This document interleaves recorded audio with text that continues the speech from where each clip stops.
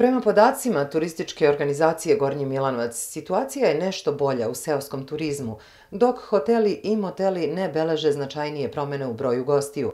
Program razvoja turizma, koji je nedavno predstavljen široj javnosti, bazni je dokument koji će definisati ciljeve razvoja i akcioni plan i kao takav jedan je od najbitnijih koraka koji bi trebalo da doprinese bržem razvoju turizma u Gornjem Milanucu. Iskreno gostoprimstvo i srdačnost kojom se dočekuje svaki gost jedan je od najvećih aduta kojim se odlikuju domaćini Milanovačke opštine, ali bez ulaganja i osavremenjivanja seoskih domaćinstava ne bi bilo lako privući turiste.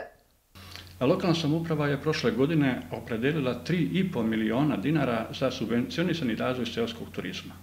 To je jedna jako pozitivna, jako dobra priča, gde će naši domaćini moći, naravno, po programu koji odrade, po investicijama koje ulože, da očekuju da se određen deo tih sredstava e, refundira, odnosno da im opština subvenciju e, vrati e, po osnovu što su uložili ta sredstva u razvoj e, svog turizma.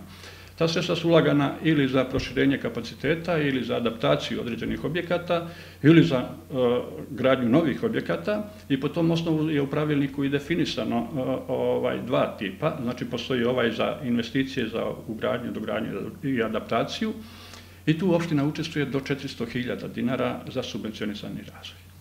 E, postoji druga kategorija za kupovinu opreme, za kupovinu mobilijara, za ovaj, e, uređenje dvorišta i tako dalje i tako dalje. Tu će opština učestvovati do 200.000 dinara. U ukupnom iznosu, kao što rekao, do 3,5 miliona. E, konkurs je otvoren, on se završava 1. novembra, od 1. novembra do 15. novembra se prikupljaju ponude i e, domaćini će moći da konkurišu, a odmah potom će se praviti ugovori sa lokalnom samupravom i bit će e, e, naravno po rang listi ovaj, opredeljena i prebačena sredstva na korišćenje. Kako je interesovanje domaćina? Sudeći po njihovim zahtevima, po njihovim uput, upitima, po njihovim dolascima, kao što rekao ih i malo pre, sam imao nekoliko posjeta ovdje kod mene u kancelariji, da im dajemo prave informacije oko toga na šta i na koji način mogu da, da apliciraju, šta sve podrazumeva taj uh, program. Uh, verujem da će dosta njih biti zainteresovano. Plašim se da taj iznos od 3,5 miliona dinara neće biti dovoljan, ali u svakom slučaju kao jedan početak, kao jedna osnova, Eh, veoma mi je bitno da to prođe na pravi način i da domaćini osete blagodeti koje im nudi lokalna samouprava i zajednička naša želja, naravno da unapredimo i što više razvijamo seoski turizam.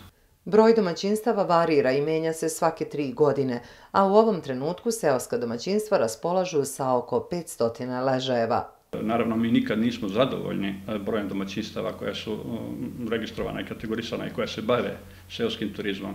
E, taj broj je e, fleksibilan, menja se, zato što sva rešenja koja oni dobijaju prilikom kategorizacije i registracije traju tri godine.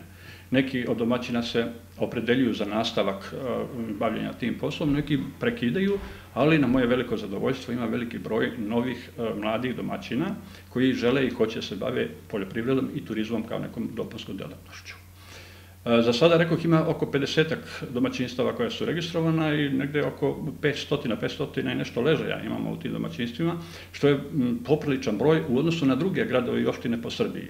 Vrlo je dobro, drago mi je da veći broj domaćinstava u Srbiji ima jako dobru ponudu, ima, pored kvalitetnog smeštaja, kvalitetne hrane i naravno prirodnog ambijenta i uslova u kojima su smešteni njihovi objekti, Veoma veliki broj domaćina, odnosno domaćinstava, proširuje svoju ponudu, pa nije redak slučaj da kod nas možete u seoskom domaćinstvu da vidite e, bazene, jako konforne, e, e, dobre, gde dolaze ljudi i turisti, a i oni koji na dan dolaze na korištenje usluga bazena.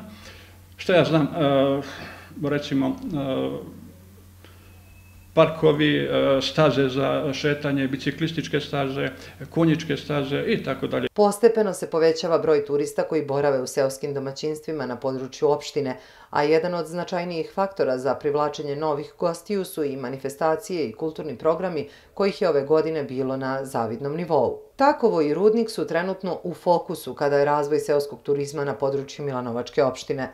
Spomen kompleks i muzej posvećen drugom srpskom ustanku u Takvu nalaze se nadomak petlje autoputa Miloš Veliki i dobra su prilika da uživate u odmoru i gostoprimstvu Takovaca.